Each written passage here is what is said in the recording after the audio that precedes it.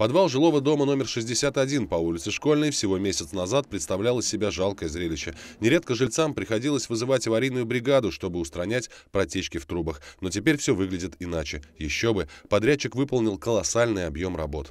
На этом объекте 100% менялось все, все, все инженерные коммуникации. Холодная вода, горячая вода, полностью все розливы по отоплению, подача обратка с опорной арматурой, с осечными дополнительными кранами, с манометрами, с термометрами. Ну, полностью все в полном объеме менялось здесь.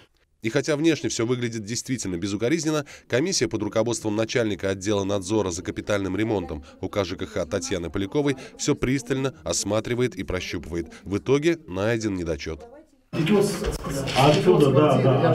Ну вот давайте мы совместно со слесарями все это сделаем, но этого же не Хотя мы как в данном конкретном случае исполнитель работ ни в чем не виноват. Даже поверхностный осмотр показывает, что течь образовалась в квартире наверху. Несмотря на то, что фронт работ к подрядчику не относится, исправить ситуацию все равно придется ему. Жилой дом – это живой организм.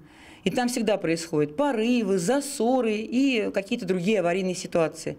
Поэтому в силу того, что кто-то доступ в квартиру предоставил, кто-то нет – мы поэтому промежуточно и выходим. Действительно, подобные проверки работы подрядчика проводятся каждую неделю. При этом не только контролируются сроки и качество ремонта. Зачастую представители эксплуатирующей организации высказывают свои предложения. Производители работ, как правило, идут навстречу. Когда начинаем работать, зовем эксплуатацию и говорим, что хотите и делаем больше, как хочет эксплуатация. Ну, мы делаем, естественно, так, как должно быть, а в принципе стараемся, чтобы эксплуатация было удобно обслуживать.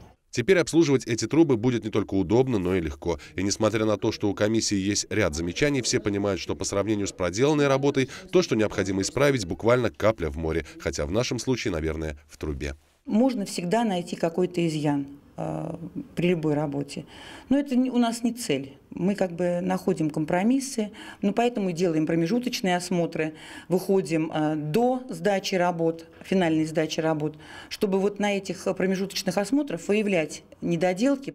В следующем году планируется отремонтировать трубы и в квартирах этого дома. Максим Козлов, Алексей Руднев, Елена Кошелева. Видное ТВ.